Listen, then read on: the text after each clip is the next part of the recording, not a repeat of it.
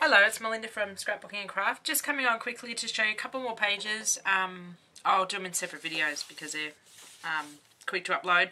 But I've been working on November Daily Art Journaling and that's a hashtag associated with that. It's hashtag NOV Daily Art Journal. And there was a list of prompts put up by Chelsea and a few of her friends on YouTube and Instagram. I'll put a link to it below. And it was to do a journal page every day in November. I must say I failed and get didn't get a journal page done in everyday November, but I got 2, 4, 6, 8, 10, 11 out of 30 done. That's not that bad. Maybe next year I'll aim for more than 11. So this is one of my pages. This is one that stumped me. Hot pepper.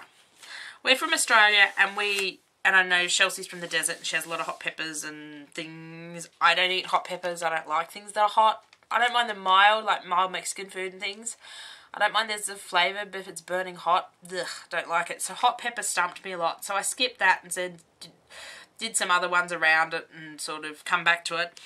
But I found this pizza ad and I thought, right, I'll do the hot pepper one. I will do no hot peppers on my pizza.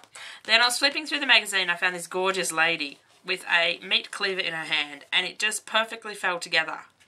I think I saw a hot pepper and she's going to smash it with the meat cleaver. I don't know. It was, it was, I had lots of fun doing this page. Um, and the background is actually from a little pack I got from Daiso that has Bon Appetit and I tore all that up and collaged it in the background. So I page took quite a while but it was loads of fun. So this one was the hot pepper um, hashtag. So I'll pop this one up on YouTube. I've um, I'll pop them up over the next few days. Might even pop a couple up a day because they're quite quick short videos to show you what I've been up to. So that's my hot pepper page. Really enjoyed it. Really enjoyed working with the prompts.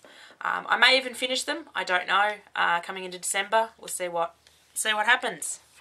Bye for now.